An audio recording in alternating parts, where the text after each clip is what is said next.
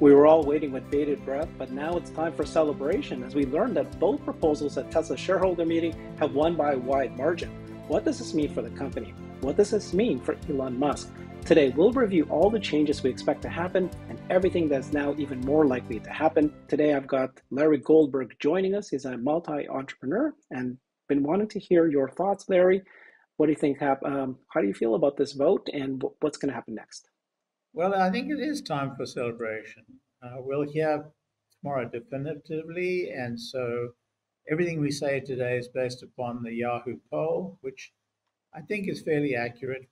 Look, I was expecting a victory. I said I thought it would be, I was very confident it would be a victory, but I thought with a significantly reduced margin over four years ago. I think it it's looking like it's not only going to be a very similar margin, but maybe even an increased margin. And so this is a huge moment. I, I will also say that I'm not sure that the uh, move to Texas is a clear enough vote. I think it has to be 70% of all shares, which is about 2.2 million, uh, 2.2 billion shares I see on the on the on the uh, Yahoo poll they've got about two billion shares, so it's that looks a little tight to me. But can the court stop this? I mean, the court can do anything it wants, really, and has done whatever it wanted, apparently. But I think this time, this time, the court has been gazumped. I think that this will go through, I think, without any doubt. I think the court was going to have to stand down. I think the question of what it pays the lawyers are going to be an open question, but it's going to have to stand down. That's my view. No, agreed. Yeah. So we'll we'll talk more about that, but let's talk first about the retail community that Tesla has. This this incredible army, Tesla boomer mama, Alexandra Merz. she led us, she got out the vote. What does this mean for the future, right? This community that stood up protecting Tesla. Um, I think the only other company that might be even you know similar to this is GameStop, where they were able to mobilize 50 million retailers to do something to help the company. Um, but here we've got 10 million Tesla shareholders. What's your thoughts about that? I think the other company you should also give credence to is Robinhood. I think they have a very large number of retail shareholders, but there's no doubt that Alexandra, Tesla boomer mama, Alexandra Merz was the, was the magic bullet in this vote.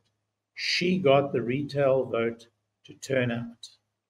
And I think this is a this is a wake up moment for institutions and for directors and for boards of directors of companies.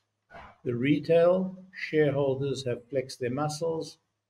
I, I think that it's going to be a major change in, in, in governance. I think this whole idea of institutional governance, doing all these, you know, non-focused business stuff, whether it's DEI or or any of the other uh, issues, I think they're going to have to look over their shoulders and make sure that the retail shareholders, their retail shareholders, go along with them.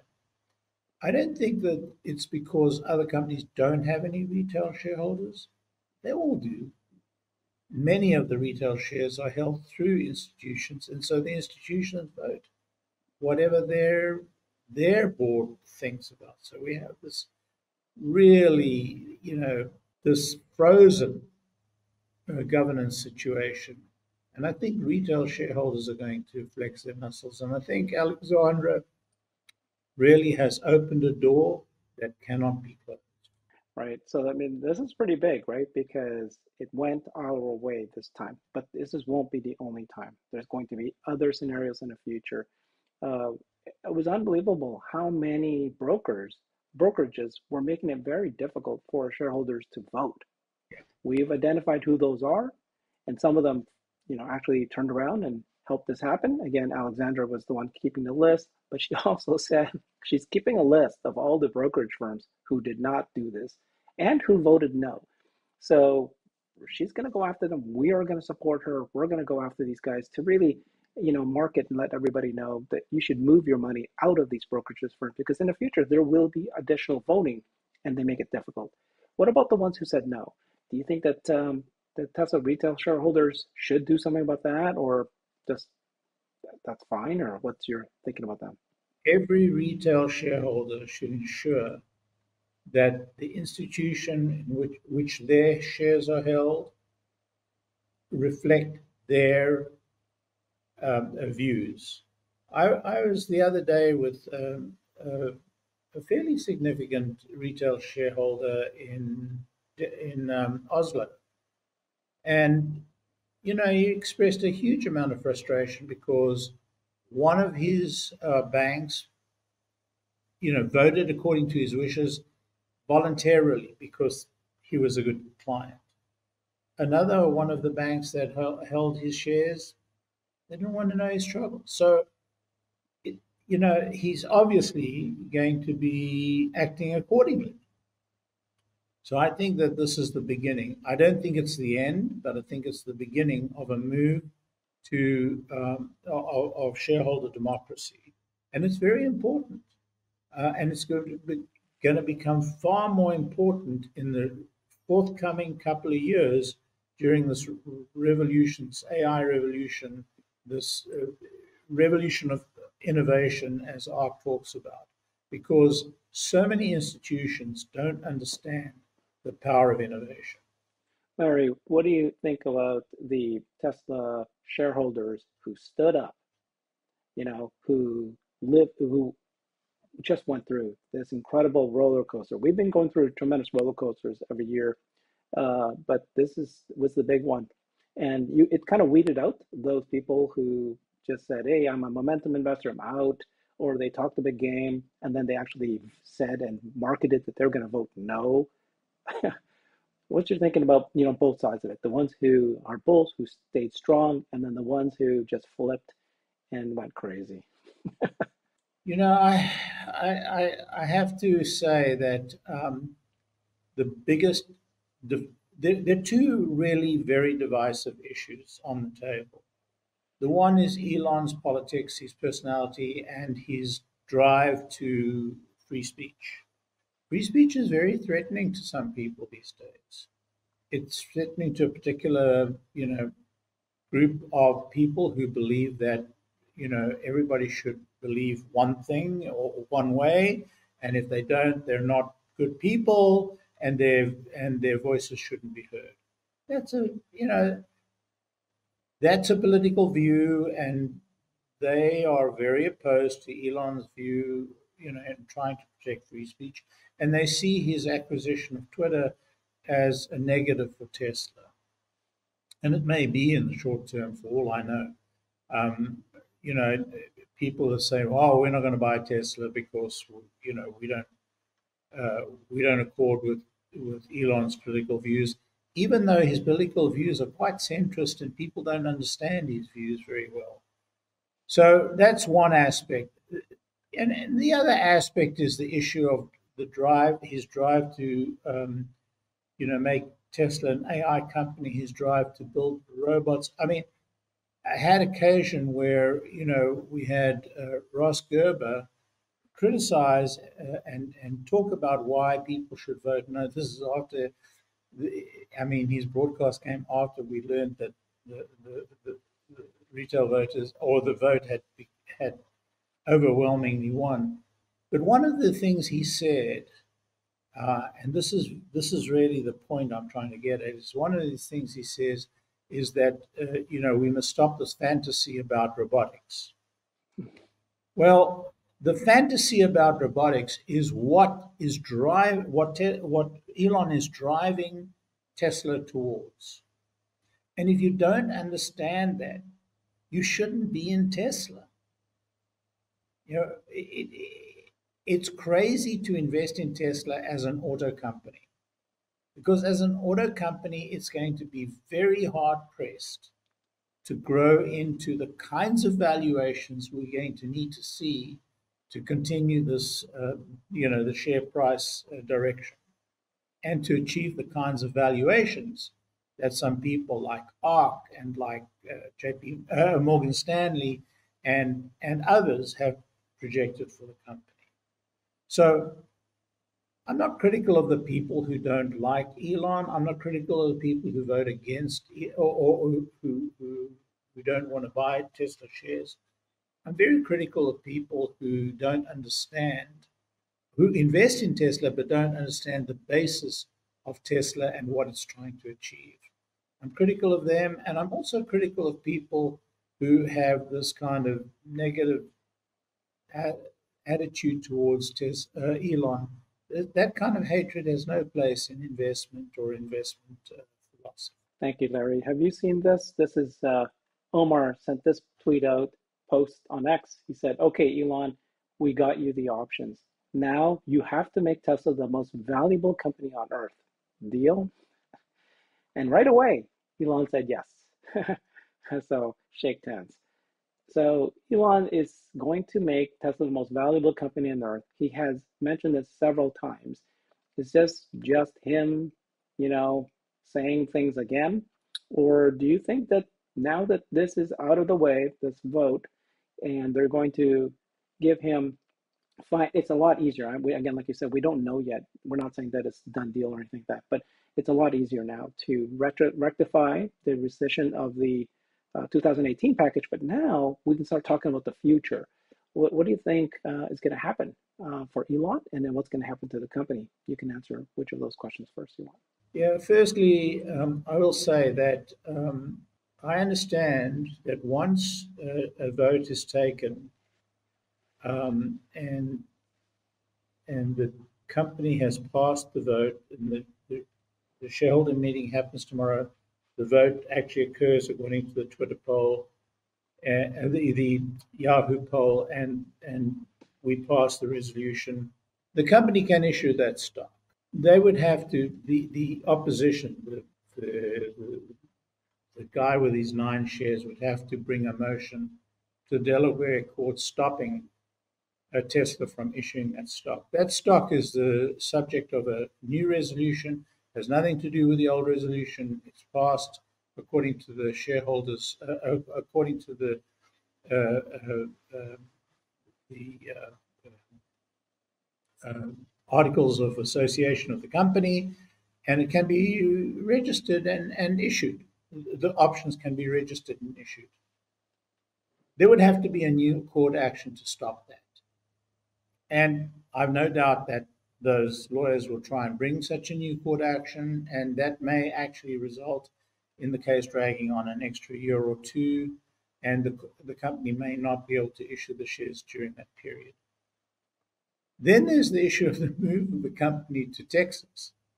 And, you know, whether that passes the 70% of all share shareholders, uh, all, all shares in issue, I don't know. But if it does, there would have to be some new action to stop the company from moving to Delaware, uh, to to to Texas. So we're in a never never land of of of illegal mess, and and it'll take time to sort out. So that's part answer to your question. I've forgotten the rest of the question. Yeah. So let's talk about what does this mean for Elon so let's let's put aside the, the, the comp packages and all that. But this gives him right the uh, understanding that the retail shareholders back him and they support him. Yeah. So that's the key thing. That was the one thing that everybody said that oh my gosh, if the vote went negative, he will leave Tesla.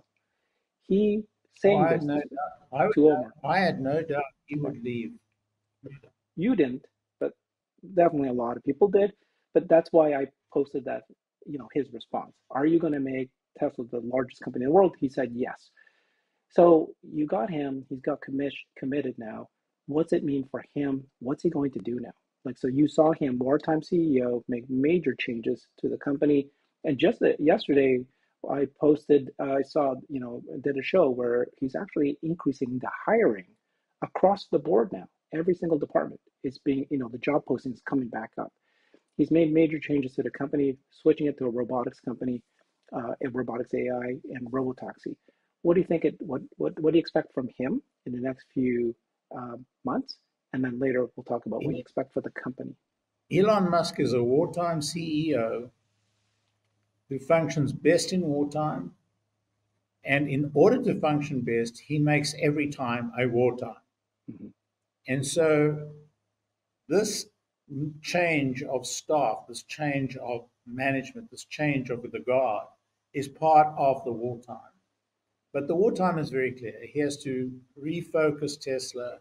He has to refocus Tesla as an AI company. He has to refocus Tesla as a robotics company. He has to refocus Tesla. He has to really drive home FSD. It's not going to be easy. I mean, FSD has got a ways to go. You know, we may not see it. We know we, we may not see it in full fruition until the end of next year. So it's got a ways to go. The robot has got Optimus has a way to go, and you know, next gen vehicles have got a way to go. So we've still got a significant fight in you know ahead of us. Cybertruck is done. Now I don't know what the costs are on Cybertruck, and I don't know what the profits are on Cybertruck. All something will be revealed, not all. But something will be revealed at the end of this quarter. So we've got a lot of stuff going on, and it's wartime. And, you know, Elon's made it very clear. Now, there are other aspects as well. We've got to get the semi out, the semi factory done and out. We've got to get the Shanghai Megapack factory up and running. We've got a lot of stuff going on. So Elon's in wartime. This is his heaven, and he's going to do extremely well at it. Um, time will tell. Time will tell. But I think these are, you know, we feel like 2018 all over again. This is great. This is what we expect of, of Tesla. And I think this bodes well for Tesla's stock because everybody's interested in what the stock price is going to be over the next two to three years. Okay, good. And then what about the company? So, uh, you know, he did come out and say that he wants to have 25% voting control, voting control, not shares, not uh, money. He wants voting control because he's concerned about developing robotics AI because it could be a very, very negative future. With this uh, event happening, it just gives, you know, again, higher chances now, higher probability that he will find a way, that the company will find there's multiple paths for them to get there, but with this outcome of the vote, very likely to get there now. So now that's kind of feeling better in his mind. A lot of people said, oh, he is slowed down his effort on bots, and yet they just announced or they had a little note there saying that there's now two Optimus bots working in the factory already now. Do you think that uh, he was slowing it down? And then what does this mean now that he's got this under the belt here? Is he going to now accelerate the efforts on the bots and AI? I don't think he was slowing down. I think he foretold that this is going to be a tough year and we're going through a tough year. I think he made a huge change um, of people. And part of the reason for the change of people is to reduce the company's fixed costs. Part of the change of people was, you know, to revive the, the energy and focus of the company, although some of the people who left have amazing energy and amazing focus. They're some of the greatest people I know. And, you know, they retain pretty positive view of, of, of Tesla. So I think that it really is, you know, an issue of, of of focus and of of some sort of you know re, some sort of means of waking waking the organization up. He does this fairly frequently, actually. Um, if you read uh, Walter Isaacson's book, he does this in small, you know, one person at a time, one um, business unit at a time, or one group of people at a time, or he does it in the lodge. you know, across the board, 10% cut, you're all gone, done. Um, so I, this is his style. This is his way. And if you don't like it, you really need to not invest in Tesla. This is the how it's going to be. the fact that he hasn't slowed down at you know 50 is a very important indicator for us. It means that he's he's focused. Now I didn't think he ever lost focus on Tesla because of the, the case and so on and so forth. And as far as the 75% goes, this is why it's so important to move to, to Texas. Because once he's in Texas, there's a lot more flexibility in how the um, how the stock is set up in terms of voting and non-voting shares, and and how he could structure a, a 25% ownership, which is very important. But there's a lot of negative uh, press on the fact that he sold stock to buy Twitter, and that actually cost him the 25% position. Uh, but but you know his purchase of Twitter turns out to be very good for Tesla. It turns out to be very good for Tesla because it's a natural adjunct to uh, to you know uh, AI and and provides you know the the data that um, is going to be so valuable for uh, Tesla and for the Tesla cars and for the robots. So I think I think it was a good deal for Tesla. I actually agree with you. I don't think that he slowed down at all. In fact, if you look at his actions, he has been on fire the last month, two months, three months, everything. He's just been amazing. He's focused so much on Tesla. He's been talking about Tesla, making moves everywhere for Robotaxi and for the bot. Now that uh, this is done, we're expecting a second, you know, new compensation package that's going to look out maybe 10 years from now to 10 years. So while I don't think he slowed down the robots at this point, it, it, I do think that this allows him to accelerate and to really focus and have higher targets, milestones even sooner for the bots and AI. What would you like the next comp package to look like? Firstly, I don't think that comp package should be um, authored until the move to Texas is affirmed. Because once we move to Texas, we could have a you know differential share uh, class, and he can be comped in those differential shares. And so I would like to see a comp package that gives him the 25% control and takes us to, you know, $2,000 a share mark. It won't be expressed in price per share. I think it'll be expressed in, in revenue, revenue for the bot, revenue for the cars, revenue for energy, revenue for the trucks, you know, I I don't know what other products are in the in the hopper, and so the revenue may not be tied to actual product, but to but to revenue. Uh, I mean, the revenue targets will be tied to you know corporate revenue rather than individual uh, divisions, and I expect to see you know corporate revenues that would and margins that would support a $2,000 a share price, or at least 10 to 1, 1 1.5, 1.7 uh, trillion dollars uh, capital value. That's gonna be fun. We can start thinking about this. we can start, you know, strategizing about it, expecting it to happen. But like you said, it probably won't happen right away. Okay, so let's just review a little bit just for fun. You know, what happened in the last month, two months, the last year? What's going on at Tesla? Are they going to make a movie out of this? How are they going to look back at this historically? Who, which actress would you recommend to play Alexandra Merz? You know, I mean, this whole concept of the retail uprising was it big enough that people are going to take notice of this?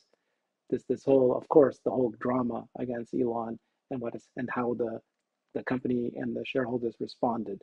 what do you think about that? Just for fun. Well, you know, I'm I'm not a movie guy. I, I don't watch movies. Well, I don't. I watch movies, but the movies I watch, I don't think you know popular. I, I wouldn't even know the name of a very famous, popular you know, star that would be you know that would be a good Alexandra. I mean, Alexandra should be herself. You know, she's just.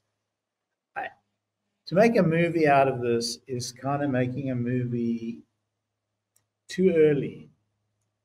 I mean, the Elon Musk story is going to be multiple movies, but I think we have to wait for the whole story because it's amazing what he has accomplished to date. And I guess you could encapsulate, you know, the story of SpaceX. You could encapsulate the the, the, the final, you know, triumph of the Model Three. You could you could take you could take moments and do something, but the story of Elon Musk, you know, it is an amazing, amazing life story, and it's not done yet. And you know, he's got a lot of detractors, and so they'll, you know, given Hollywood, they could, you know, they could really turn that into a very nasty situation. Yeah, So that's right. I prefer to keep out of, you know, popular media at this point. Good points.